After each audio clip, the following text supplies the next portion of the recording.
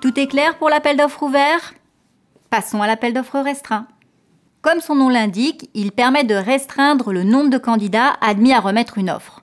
Cela peut être intéressant lorsque la concurrence est nombreuse ou si l'objet de la consultation demande des capacités spécifiques. Le nombre limite de candidats ne peut être inférieur à 5, sans que cela soit bloquant lors de la remise des candidatures. En effet, si seulement 4 candidats se présentent, la consultation peut se poursuivre avec les 4. La publicité se fait soit par un avis de marché, soit par un avis de pré-information publié au JOU et au BOAMP. Le délai minimum de remise des candidatures est de 30 jours, qui peuvent être réduits à 15 en cas d'urgence. Attention, il ne s'agit pas de l'urgence impérieuse, mais d'une urgence motivée, qui ne s'assimile pas à une négligence de l'administration. Le délai de remise des offres est également de 30 jours, mais peut être réduit à 25 si les offres peuvent être transmises par voie électronique, et à 10 jours en cas d'urgence ou si l'ensemble des candidats en sont d'accord. Et comme pour l'appel d'offres ouvert, si tous les documents ne sont pas en ligne, un délai additionnel de 5 jours doit être prévu.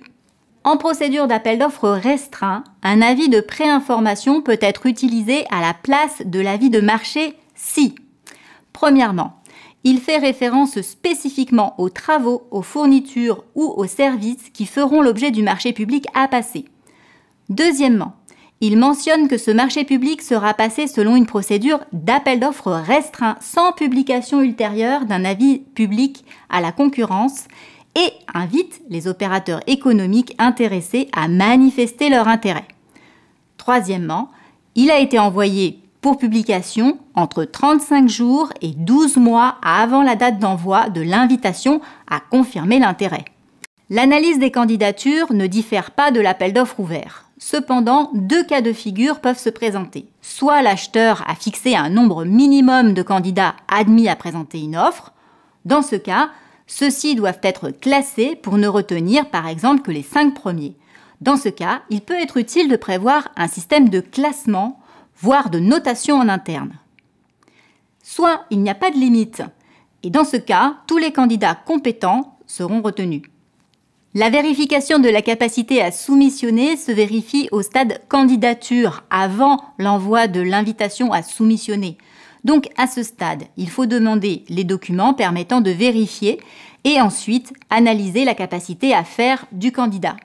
Les candidats non retenus sont informés et les candidats retenus recevront le dossier de consultation des entreprises assorti du délai de remise des offres. Les autres étapes sont similaires à l'appel d'offres ouvert et traduites dans les schémas ci-après.